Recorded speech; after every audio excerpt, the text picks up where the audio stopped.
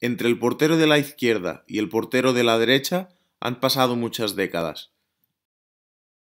Existe el debate continuo que hay mucha gente que dice que los porteros de antes eran mucho más valientes, se movían mucho más, eran mucho más espectaculares, que los porteros de hoy en día se mueven poco, que han evolucionado de tal manera que ya no son tan valientes, que no son tan ágiles.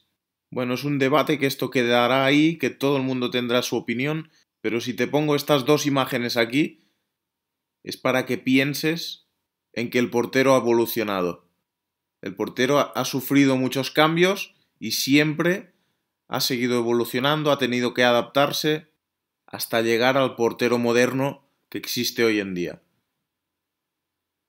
Antes las porterías eran de madera, los palos eran cuadrados y en nuestro deporte siempre ha habido la creencia de que se marcan pocos goles y que tendrían que hacerse más grandes las porterías. Muy bien, pues las hicieron más grandes y el portero se adaptó.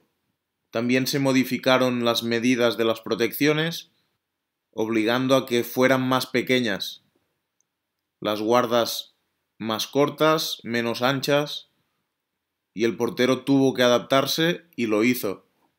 Y lo más importante, la evolución de los jugadores.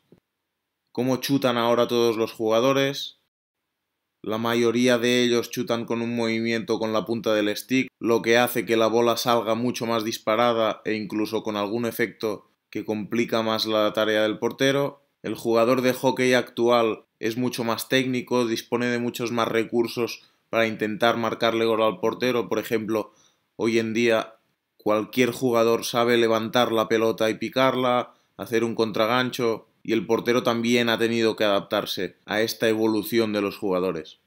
Por lo tanto, vemos que el portero ha tenido que recorrer un camino siempre acompañado de la exigencia de rendimiento.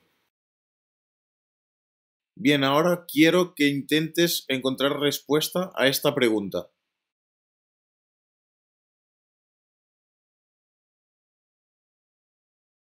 En deportes como el fútbol, el balonmano, el fútbol sala o incluso el hockey hielo o el hockey hierba, desde hace muchos años ya existe la figura de entrenador específico de porteros. Desde muchos años antes se ha empezado a ayudar al portero de estos deportes para que tenga más rendimiento. Por contra, en el hockey patines, incluso en los equipos profesionales, no existe esta figura. De hecho, solo en la Hockey Liga existe un equipo que tenga entrenador de porteros, que es el Fútbol Club Barcelona.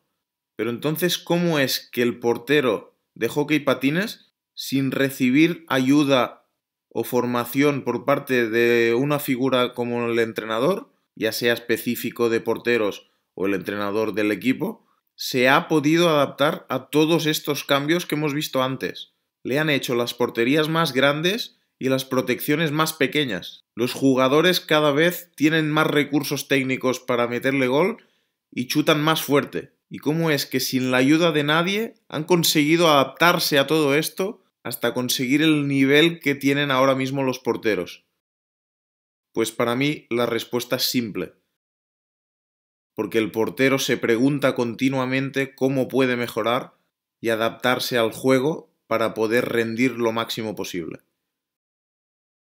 los porteros que llegan al máximo nivel es precisamente por la capacidad que tienen para reflexionar sobre ello.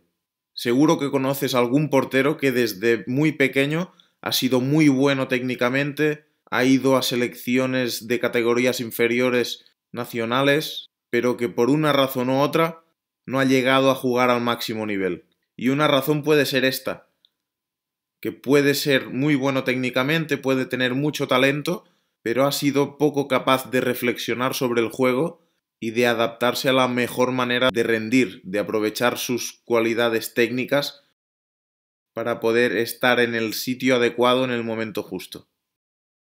Entonces la pregunta es, si los porteros han evolucionado por sí solos y siendo autodidactas para llegar al máximo nivel, ¿Necesitan ayuda de los entrenadores para seguir haciéndolo?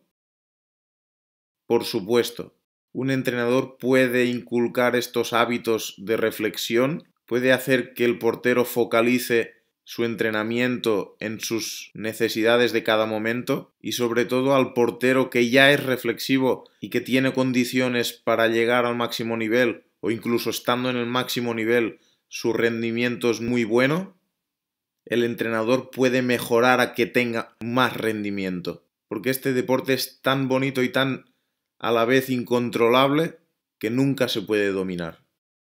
¿Conoces algún portero que haya ganado todos los partidos de toda la temporada y lo haya hecho sin recibir ningún gol?